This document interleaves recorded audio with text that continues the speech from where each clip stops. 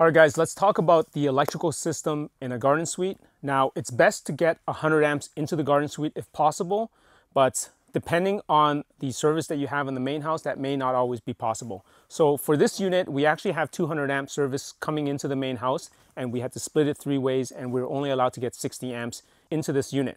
Now, if you're actually able to get 100 amps, then you may be able to have a heating system that is electricity, okay? So uh, maybe a heat pump system, mini splits, maybe there's an in-floor electric heating or uh, baseboard heaters, that may be possible. But because we're only able to get 60 amp service into this unit, we actually have to get a gas line in and we're gonna be using a gas boiler and some of our appliances are gonna be gas as well, all right? So here's the panel that you see here. This is in this little service room uh, in the garden suite and we have a main breaker that is going to be 60 amps and uh, we have all these individual breakers for the circuits for the rest of the suite.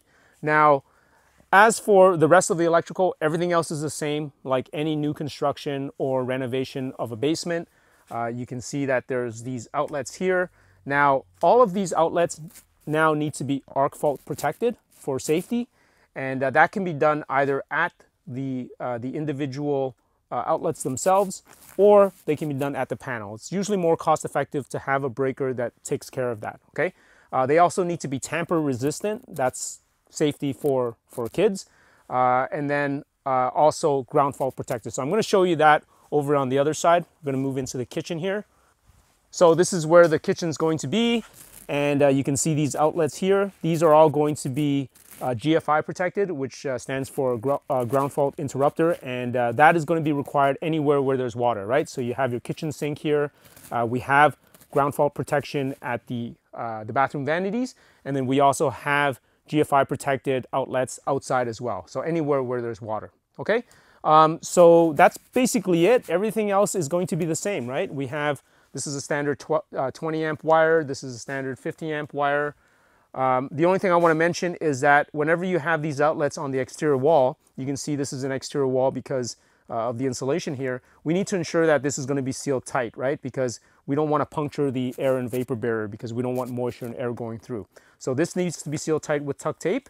And uh, that's pretty much it. Everything else is uh, very similar to any new construction or a basement second suite. All right, so that is electrical at a very high level. Uh, hope you found that useful and we'll see you in the next video. Thank you so much for watching our video. We have a brand new garden suite guide, how to add one to your property. You can download a copy right now for free if you go to www.suiteadditions.com. We cover a ton of stuff you need to know if you want to start building these to create more housing and wealth at the same time. There's also a list of resources that we've identified that you can use. Download your copy now for free at www.suiteadditions.com.